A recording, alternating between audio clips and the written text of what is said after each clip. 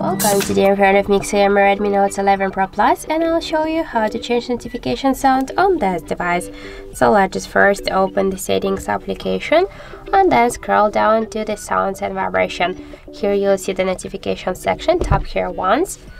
And now we can see here the online ringtones here. If you want to use your default uh, ringtones, uh, but be sure that you're connected to the Wi-Fi or to another mobile data first.